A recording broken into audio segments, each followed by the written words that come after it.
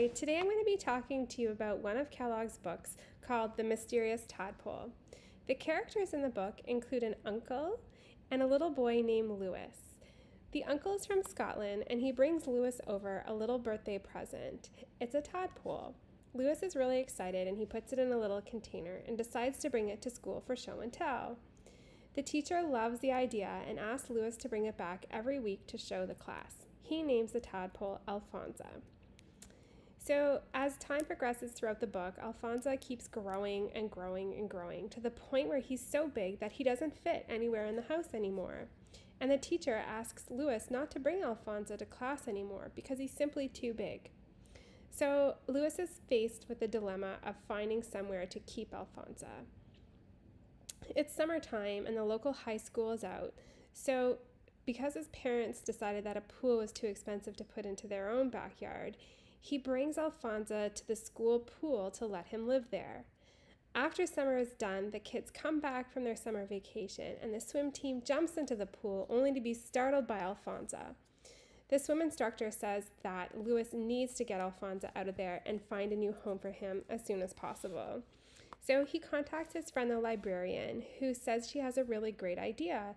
There's a shipwreck out in the ocean near them that has never been discovered. And if Alphonsa could fetch one of the golden treasures or treasure chests down there, they'd be able to have enough money to build Alphonsa his own pool. So that's what they do, and Alphonsa makes his way down to the shipwreck and he finds the treasure chest and brings it up. And the little boy Lewis is able to create, or he buys a parking lot and installs a pool in it for his friend Alphonsa. And his parents are extra happy at the end because Lewis decides to buy them a trip for a cruise to Hawaii. And at the very end, um, Kellogg leaves us with a bit of a cliffhanger. It's Lewis's birthday again, and his uncle shows up with another egg, and we can see the egg cracking and an animal coming out of it, but we don't know what it is. So it's a little bit of a cliffhanger at the end. There's lots of ways that we can integrate this story uh, into the curriculum. Uh, one of them would be to link it to math. You could have students estimate the mass of the tadpole as he grows throughout the book. So it would be fun to compare and contrast the different estimations that the students come up with about the size of the tadpole as he grows.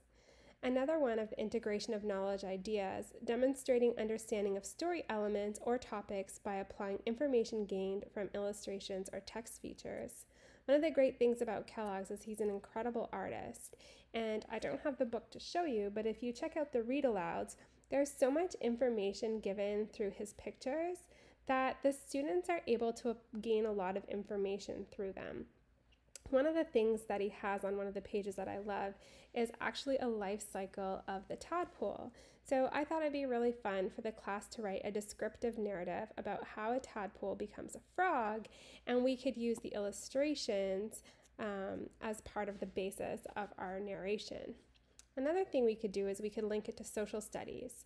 Students will identify the sorry, students can identify the characteristics by talking about the type of community that the uncle lived in. Together, we can infer if it was an urban, suburban, or a rural community, and we can compare it to our own community that we live in. So that's the information I have for you on Kellogg's book of the mysterious tadpole. Thank you.